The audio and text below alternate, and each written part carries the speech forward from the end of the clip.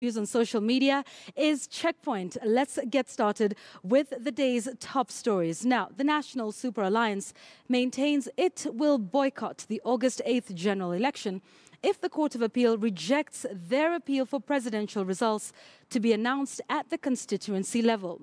The alliance, comprising of five principals, says that they will only accept results announced by returning officers at constituency levels and not by the IEBC chair Wafula Chebukati. The leaders announced this during a rally held at Afraha Stadium in Nakuru town. Chris Tharu reports.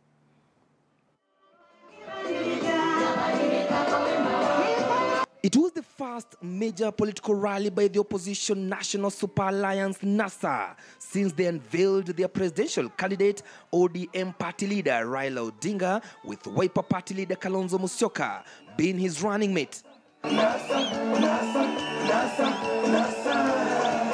And the venue was at Afraha Stadium in Nakuru County, a county perceived to be Jubilee's stronghold.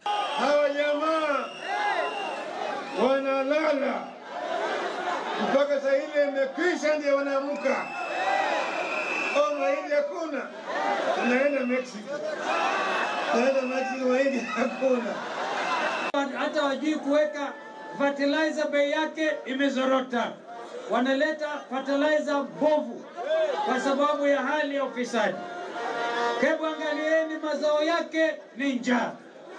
Tangu 63 for the first time bei ya maziwa inashinda bei ya petroli. They promised to deal with the high cost of living within 90 days of taking over power. Tunataka tuimarishe uchumi,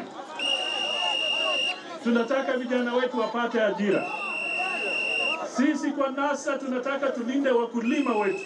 Jana wametudanganya ati on Wednesday wanaenda Mexico kuleta ugali. Baada ya siku wanasema imefika. Kwani kwani Mexico ni Kisii? Hawa tulikuwa watu wenye ukakamavu mkubwa zaidi. Munaona ile infrastructure projects inaendelea ambayo Jubilee wanajigamba ni yao, ilianzishwa na Kibaki na Raila na Kalonzo. Politicians warned Jubilee against attempting to steal the elections and asked their supporters to be vigil during and after the poll. Kura ikihesabika kule mashinani, uamuzi huo ndio wa mwisho.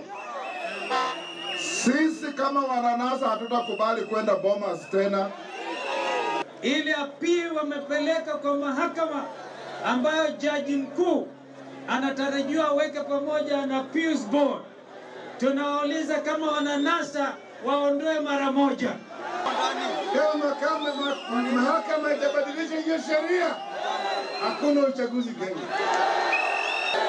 The politicians also faulted Jubilee on a myriad of problems facing the country, including graft and nepotism.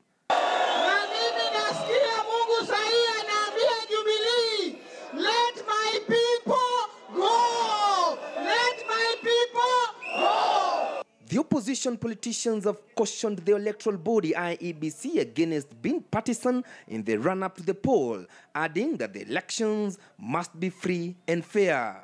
This being the first political rally since the opposition unveiled their presidential candidate, they promised to be holding at least one major rally in at least one of the 47 counties even before the official